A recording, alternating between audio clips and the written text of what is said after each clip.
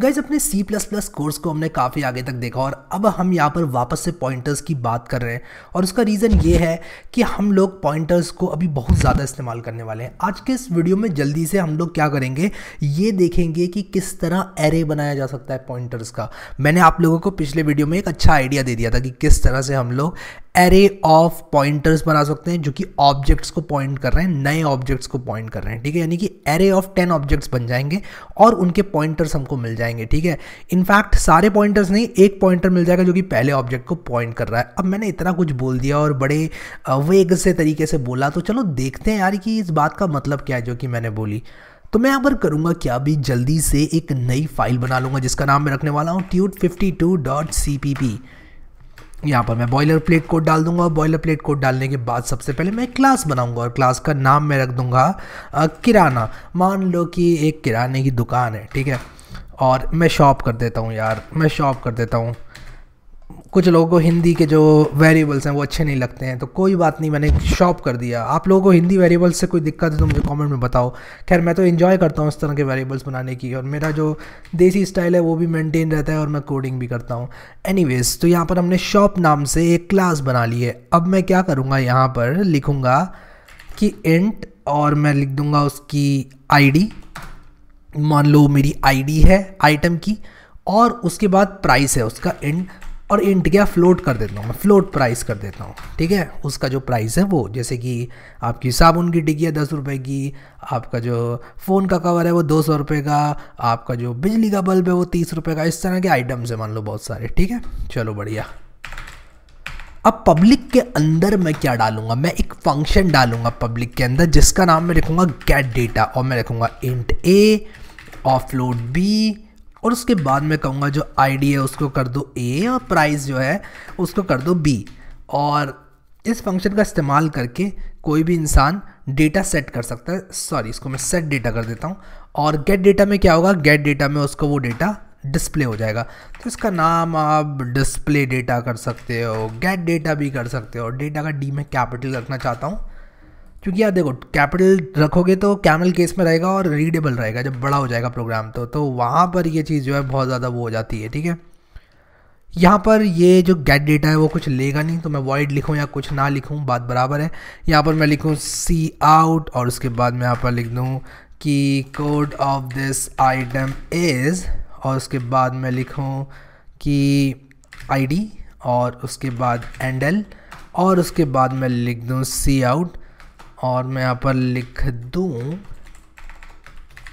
price of this item is और यहाँ पर मैं लिख दूँगा प्राइस और उसके बाद वापस से एंडल और यहाँ पर मैं इस तरह से करूँगा तो मेरे पास दो फ़ंक्शंस बन चुके हैं and I'm ready to create an array of objects अब मैं एक एरे बना लूँगा ऑब्जेक्ट्स का और अब देखना मैं क्या करूँगा। देखो, ये क्लास तो समझ ही गए होगे आप लोग क्या बनाई है। आप कहोगे, यार, इतनी क्लासें बनाई हैं मैंने।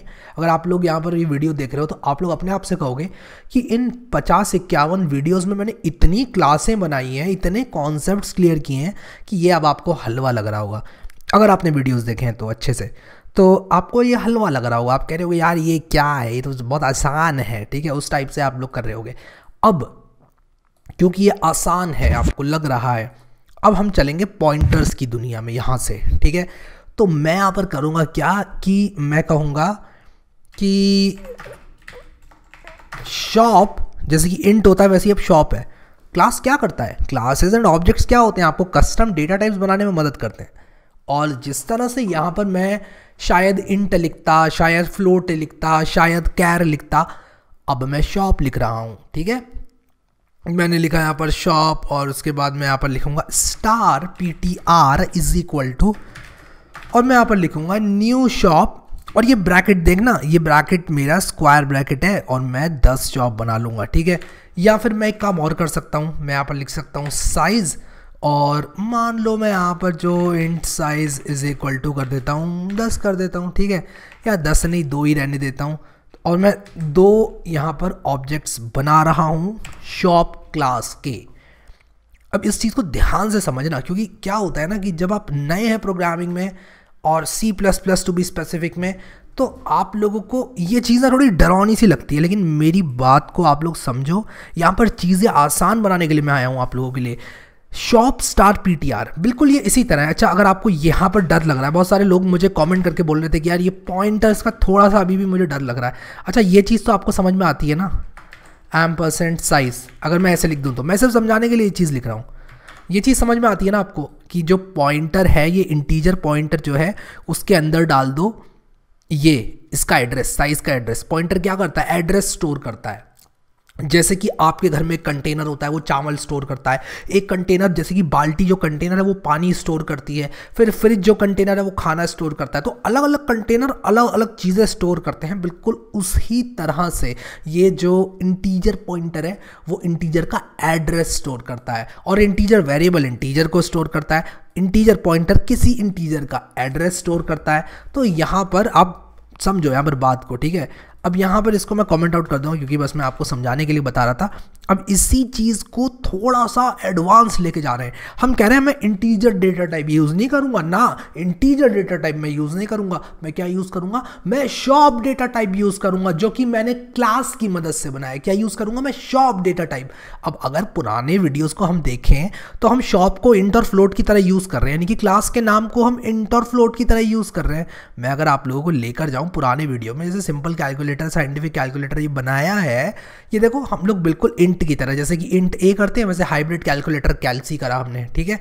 तो उसी तरह यहाँ पर आप लोग देखो, मैं शॉप को इंट फ्लोट की तरह इस्तेमाल कर रहा हूँ और कह रहा हूँ शॉप स्टार पीटीआर अब जैसे कि इंट स्टार पीटीआर था, एक पॉइंटर जो कि इंटीजर स्टोर करेगा। शॉप स्टार पीटीआर एक पॉइंटर है, जो क्या स्टोर करेगा? जो कि स्टोर करेगा शॉप का, जो कि शॉप ऑब्जेक्ट है, उसका एड्रेस लेकिन यहाँ एक कैच है। अब ये ये चीज़ जो मैंने यहाँ पर लिखी है मैं इसको थोड़ा आगे लेके जाता हूँ, इस चीज़ को थोड़ा आगे लेके जाता हूँ। यहाँ पर ये जो लिखा है, मैं कह रहा हूँ कि अब मैं एम परसेंट साइज़ स्टोर नहीं कर रहा हूँ मैं मैं यहाँ पर इसमें new in thirty four store कर रहा हूँ। इसका मतलब क्या हुआ? इसका मतलब कि डायनामिकली चौंतीस इंटीजर स्टोर करने भर की मेमोरी एलोकेट कर दो। मैं कंपाइलर से कह रहा हूँ कंपाइलर देवता कंपाइलर देवता, चौंतीस इंटीजर स्टोर करने जितनी मेमोरी को एलोकेट कर दो प्लीज़ प्लीज़ कर दो। कंपाइलर बोलेगा, बेटा बेटा कर रहा हूँ, चिंता मत करो, मैं तुम्हारे साथ हूँ, मैं तुम्हारे प्रोग्राम्स ही कंपाइल करने के लिए पैदा हुआ हूँ। वो कहेगा, ठीक है, मैं चौंतीस तुम्हें जो इंटीजर्स हैं वो एलोकेट करके दे रहा हूँ, ठीक है? मज़े करना ज़िंदगी में। वो चौंतीस इंटीजर जितनी मेमोरी एलोकेट करके दे देगा और उस मेमोरी का, जो मेमोरी ब्लॉक उसने एलोकेट किया है, उसमें से पहले ब्लॉक का एड्रेस पीटीआर में स्टोर कर देगा। वो कहेगा कि तुम इंक्रीमेंट कर करके बाकी के ब्लॉक कर लेना। आप कहोगे, ठीक है कंपाइलर देवता, मैं P T R plus plus करके अगली मेमोरी पे पॉइंट करता जाऊँगा। अब ये काम मैंने थोड़ा आसान बनाने के लिए आपको बताया था। लेकिन इसी चीज़ को अब इस पे लगा लो शॉप वाले पे। Shop star P T R is equal to new shop और साइज़ यानी कि आप कंपाइलर से कह रहे हो कंपाइलर देवता मुझे साइज़ जितने, यानी कि दो, इसको मैं तीन कर देता हूँ। अगर मैं तीन करूँ, चार करूँ, मेरी मर्ज़ी है, कितना भी कर सकता हूँ मैं। मैं कह रहा हूँ कंपाइलर देवता, मुझे तीन शॉप के ऑब्जेक्ट्स प्रदान करा दो। कंपाइलर देवता कहेंगे, ठीक है, करा देता हूँ, तुमको मैं एक काम करता हूँ जो तुम्हारा शॉप ऑब्जेक्ट है, इसको जितनी मेमोरी चाहिए, उतनी मेमोरी ब्लॉक्स में जितने में कि तीन शॉप के ऑब्जेक्ट स्टोर हो जाए, मैं लोकेट कर देता हूँ। और वो मेमोरी ब्लॉक एलोकेट करने के बाद मैं तुम्हारे इस पॉइंटर को पहले शॉप ऑब्जेक्ट से पॉइंट करा दूँगा। और फिर तुम P T R plus plus करके आगे बढ़ते चले जाना। आप कहोगे, ठीक है भाई, बिल्कुल सही। तो आप लोगों को यहाँ पर ये जो ब्लॉक ऑफ़ मेमोरी है, वो मिल गया। ठीक है? चलो जी, बढ़िया। अब ये चीज़ आप लोगों को मिल गई तो अब देखो क्या होगा। अब ये जो पॉइंटर है उसका टाइप क्या है? उसका टाइप है शॉप स्टार यानी कि वो शॉप ऑब्जेक्ट का सॉरी शॉप क्लास का एक ऑब्जेक्ट स्टोर करता है। शॉप टाइप का एक ऑब्जेक्ट स्टोर करता है। अब मेरे पास यहाँ पर तीन ऑब्जेक्ट बन के आ चुके हैं। अब इन तीन को मैं इस्तेमाल कैसे करूँ? मान लो मैं एक शॉप में रखना चाहता हूँ। एक शॉप मान लो मेरी किराने की है। एक शॉप मेरी सब्ज़ी की है। तो मैं यहाँ पर लिख देता हूँ। एक है मेरा जनरल स्टोर एटॉमिक स्टोर नहीं जनरल स्टोर और उसके बाद एक है मेरी वेजीज़ की शॉप और एक है मेरी मान लो एक वेजीज़ की है और एक और शॉप का नाम मैं यहाँ पर रख देता हूँ। क्या रखूँ? मैं यहाँ पर मान लो हार्डवेयर रख देता हूँ, ठीक है? और नाम मुझे निकालने में अपने दिमाग से इतना टाइम पता नहीं क्यों लग रहा है। कोई बात नहीं। तीन दुकानें मैंने ली, जनरल स्टोर, वेजीज और हार्डवेयर, ठीक है? अब देखो इन तीनों को मैं कैसे यहाँ पर करूँगा। फॉर लूप अगर आप लोगों को नहीं आता है अभी तो दैट्स योर प्रॉब्लम आप लोगों को आना चाहिए। क्योंकि यार, इस चैनल पर सब कुछ मैंने बताया है। प्लेलिस्ट अगर आपने एक्सेस करिए तो ज़रूर आपको आएगा, ठीक है? तो मैं कहूँगा कि I is less than size ये जितने भी ऑब्जेक्ट्स बने, उतने ऑब्जेक्ट्स मैं इटरेट करूँगा। बाय द वे अगर ऐसा है सच में सीरियसली अगर ऐसा है कि आपको फॉर लूप नहीं पता तो मैं तो कहूँगा आप यहाँ पे कर क्या रहे हो अभी इस वीडियो में? ऑफेंड मत होना, लेकिन अगर आपको फॉर लूप भी नहीं पता तो आप पॉइंटर्स क्यों देख रहे हो? मतलब ऐसा मुझे कमेंट्स आ जाते हैं कभी कभी कि एक एडवांस टॉपिक में बेसिक टॉपिक का सवाल, जो कि ऑलरेडी पढ़ाया होता है मैंने। मैंने कभी ऐसा किया ही नहीं है कि मैं एक एडवांस टॉपिक पढ़ा रहा हूँ और फिर जो उसका ग्राउंड बेसिक है, वो मैंने बताया नहीं है और मैं बिना बताए ऐसा कर रहा हूँ कि भाई ये ऐसे हो जाता है, वो वैसे हो जाता है और आप कह रहे हो कि यार ये क्या ये तो बताया ही नहीं है, ये तो बताया ही नहीं है। कभी भी ऐसा नहीं होगा कि मैंने बताया नहीं है। हमेशा यही होगा कि आपने प्लेलिस्ट एक्सेस नहीं करी है। आपकी प्लेलिस्ट बुक मार्क और सेव्ड नहीं है। तो वो आपकी प्रॉब्लम होगी।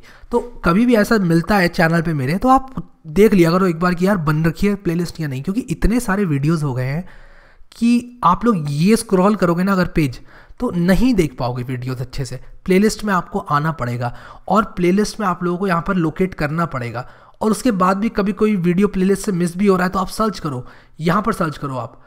तो ये सब तो चलो नेविगेशन की बातें हो गई बाय द वे मैं यहाँ पर एक चीज़ क्लियर करना चाहता हूँ कि ये जो शॉप एग्ज़ाम्पल मैंने लिया है, ये थोड़ा आपको वेग लग सकता है, क्योंकि मैंने एग्ज़ाम्पल के तौर पे लिया है। ये इनफैक्ट शॉप कम है और आइटम ज़्यादा है। ये एक दुकान को रिप्रेजेंट नहीं कर रहा है, ये किसी एक दुकान के आइटम को रिप्रेजेंट कर रहा है। तो यहाँ पर जनरल स्टोर वेजीज और हार्डवेयर जो मैंने लिखा है, वो एक ही दुकान के आइटम मान लो। मैं यहाँ पर इसको general store item veggies item और हार्डवेयर आइटम कर लेता हूँ, जो कि एक मॉल के अंदर है, ठीक है? तो मैं यहाँ पर करूँगा क्या कि एक मॉल के अंदर तीन आइटम्स हैं इन तीन प्रकार के ऐसा करके मान लेते हैं, ताकि थोड़ा रियल वर्ड से भी आप लोग जो है इसको रिलेट कर पाओ। क्योंकि अगर आप रिलेट नहीं कर पाओगे तो फिर आपको भी अजीब लगेगा। तो यहाँ पर शॉप स्टार पीटीआर को मैंने इस तरह लिखा। अब मैं क्या करूँगा? अब मैं यहाँ पर लिखूँगा सी आउट और उसके बाद मैं लिखूँगा कि I D of I D and price of of of item और उसके बाद मैं क्या करूँगा? यहाँ पर कुछ इस तरह से मैं लिख दूँगा आई प्लस वन क्योंकि ज़ीरो से स्टार्ट हो रहा है मेरा आई और उसके बाद मैं क्या करूँगा, मैं यूज़र से ही पूछ लेता हूँ। मैं कहता हूँ कि भाई, तुम ही बता दो, ठीक है? तो मैं एक काम करता हूँ एंटर करो, मैं यूज़र से कहता हूँ enter I D and price of item one ठीक है? तो ये आइटम वन ये है आइटम टू ये है आइटम थ्री है, ये आपको पता होना चाहिए, ठीक है? मैंने ये इस तरह से आइटम बनाए। और इनको आप कोई आइटम भी ले सकते हो, जैसे कि दाल, चावल, रोटी, ऐसे भी ले सकते हो, क्योंकि मैंने जो शॉप ऑब्जेक्ट बनाया, वो एक दुकान के आइटम का ऑब्जेक्ट है तो ये शॉप कम शॉप आइटम ज़्यादा है। तो मैं इसको रिनेम कर देता हूँ शॉप आइटम के नाम से, और रिनेम से आप डरना मत बिल्कुल भी, नाम कुछ भी रख सकते हैं। मैं जस्ट इसको सही रिप्रेजेंट करने के लिए शॉप आइटम कर रहा हूँ, कि एक शॉप का आइटम तो शॉप का जो आइडियन प्राइस ऑफ़ आइटम मैंने यहाँ पर लिख दिया अब यहाँ पर आप जो है ले लो। आ, मुझे यहाँ पर दो वेरिएबल्स बनाने पड़ेंगे।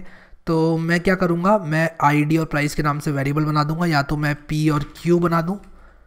मैं यहाँ पर इंट पी और क्यू भी लिख देता हूँ। ठीक है? इंट पी और क्यू मैंने बना दिए। अब यहाँ पर मैं क्या करूँगा? मैं कहूँगा कि पी और क्यू मेरे पास आ गए अब मैं इस फ़ंक्शन का इस्तेमाल कर सकता हूँ सेट डेटा का, और मैं सेट कर सकता हूँ प्राइस और जो सॉरी पी और क्यू क्या है मेरे? पी है मेरा जो सीरियल नंबर या आईडी जो आपने डाली है वो, और जो मेरा क्यू है वो प्राइस है।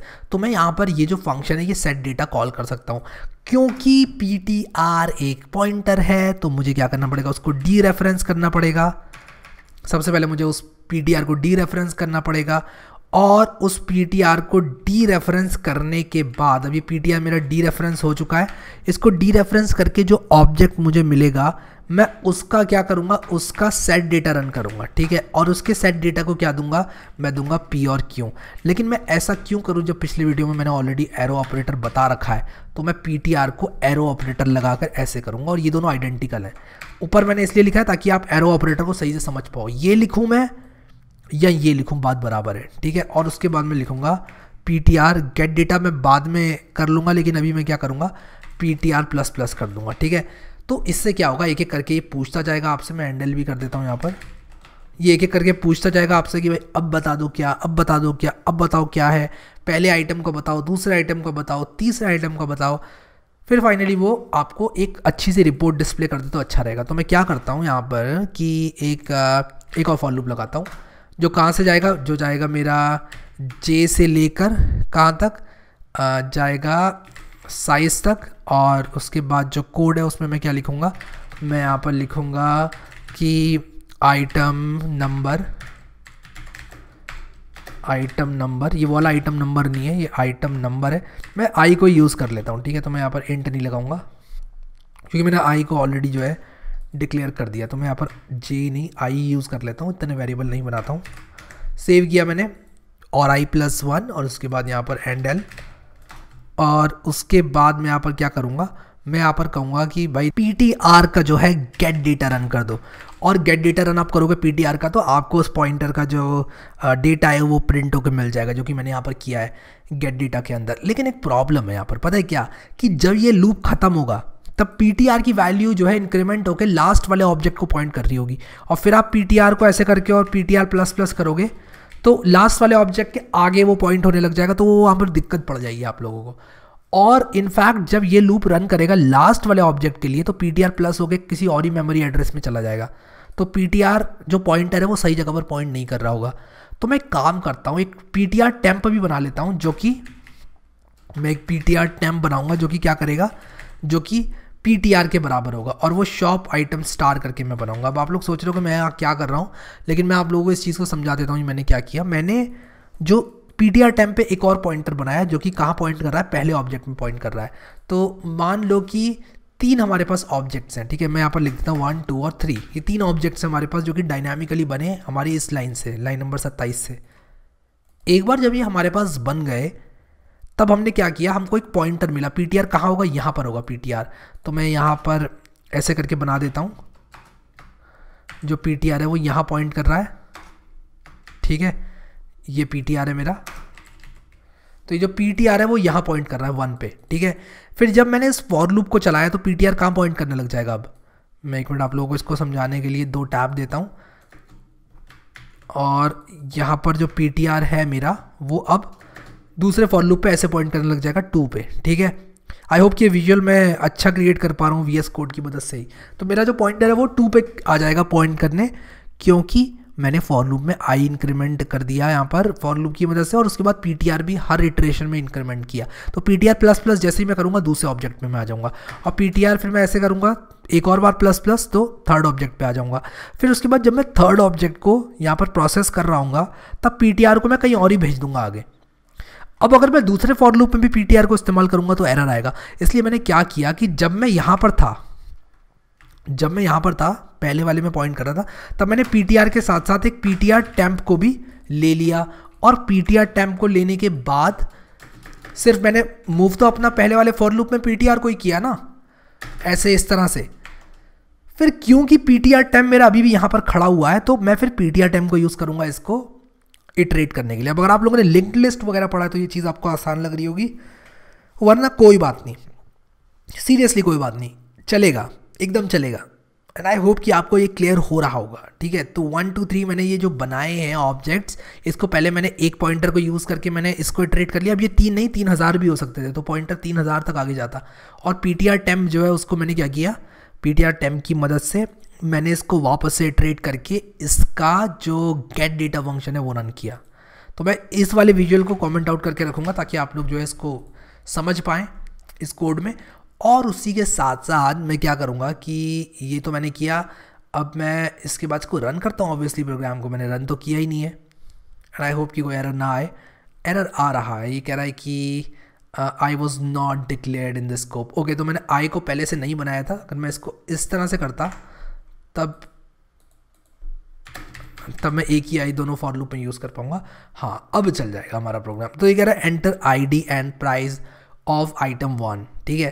तो पहले आइटम की आईडी और प्राइस मान लो, मैं आईडी दे रहा हूँ इसको वन थाउज़ेंड वन और प्राइस में दे रहा हूँ इसको forty five point seven eight rupees okay तो मेरे पास एक प्रॉब्लम यहाँ पर मुझे दिखाई दे रही है, जो क्यू है मेरा, वो एक फ्लोट होना चाहिए, जो कि मैंने इंट बना रखा है। क्यों फ्लोट होना चाहिए? क्योंकि मेरा जो प्राइस है वो फ्लोट है। तो मैं यहाँ पर करूँगा क्या? इसको मैं लिख दूँगा फ्लोट क्यू और अब मैं अगर अपने प्रोग्राम को रन करूँ तो आप लोग देखो ये पूछ रहा है I D and price of item one तो मैं वन ज़ीरो ज़ीरो वन डालूँगा और उसके बाद वन डालूँगा और फिर उसके बाद वन ज़ीरो ज़ीरो टू डालूँगा। उसके बाद प्राइस जो इसका प्राइस है वो टू डालूँगा और उसके बाद आइटम थ्री जो है उसका मैं डालूँगा वन ज़ीरो ज़ीरो थ्री और इसका जो प्राइस है वो मैं डाल देता हूँ थ्री डाल देता हूँ थ्री पॉइंट सेवन सेवन डाल देता हूँ।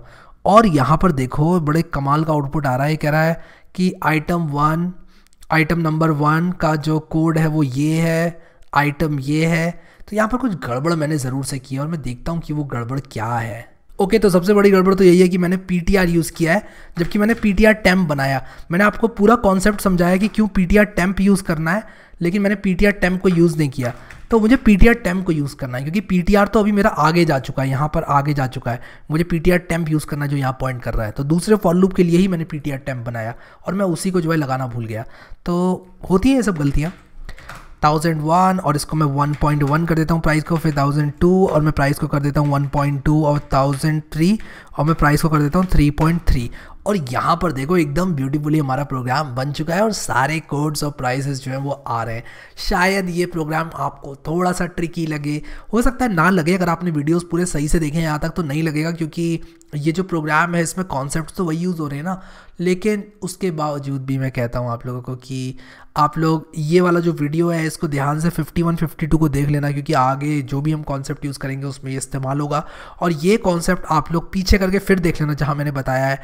क्योंकि ये इंपॉर्टेंट है कि एक पॉइंटर है, उसको अगर आप चला रहे हो तो फाइनली उसका जहाँ पर वो पॉइंट कर रहा है, वो वापस से रिसेट होकर शुरू में नहीं आएगा। पॉइंटर एक वेरिएबल है जो कि एड्रेस स्टोर कर रहा है। जब मैं पीटीआर को थ्री को टच करा रहा हूँ, उसका मतलब ये है कि पीटीआर जो है, वो थ्री का एड्रेस स्टोर कर रहा है। और ज़रूरी नहीं है कि जो पीटीआर है, वो थ्री का एड्रेस अगर स्टोर कर चुका है और फॉर लूप खत्म हो गया तो ये वापस वन पे आ जाए, ऐसा कोई रूल नहीं है। ये एक वेरिएबल है, इसने पहले वन का एड्रेस स्टोर किया, फिर टू का थ्री का जैसे जैसे आप इसको इंक्रीमेंट करते जाओगे, या अगले वाले जो भी ऑब्जेक्ट है, उस पर आता जाएगा। डिपेंडिंग अपॉन कितने ऑब्जेक्ट्स आपने बनाए, उस ऑब्जेक्ट पर आएगा। अगर आपने तीन हज़ार ऑब्जेक्ट बनाए तो एक से लेके तीन हज़ार सारे जो ऑब्जेक्ट्स हैं, उनमें आएगा। इंडेक्स डेफिनेटली ज़ीरो से स्टार्ट होगी, इसीलिए यहाँ पर प्लस वन किया है।